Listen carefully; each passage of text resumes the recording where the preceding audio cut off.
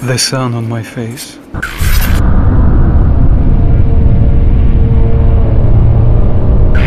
Fresh air in my lungs.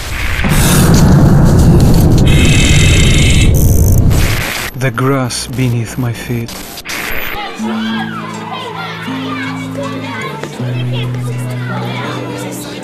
I've heard of such things, yet I live in a world without them, an underground world.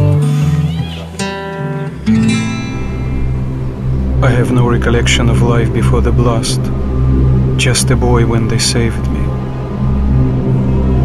Could such things exist again? I live in hope. But today, the future is all I fear.